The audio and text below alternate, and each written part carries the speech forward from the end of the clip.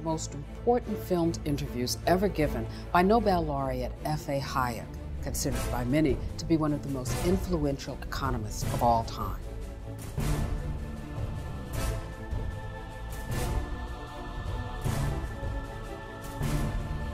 This information that he has could actually halt and stop and change all the bad stuff that's going on in the world if enough people listen to it. And he is very convincing.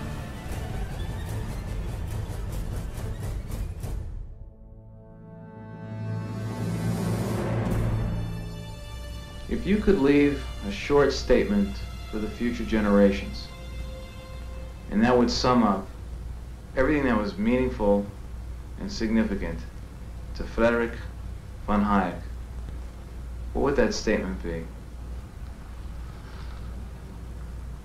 Modern civilization, which enables us to maintain 4 billion people in this world, was made possible by the institution of private property.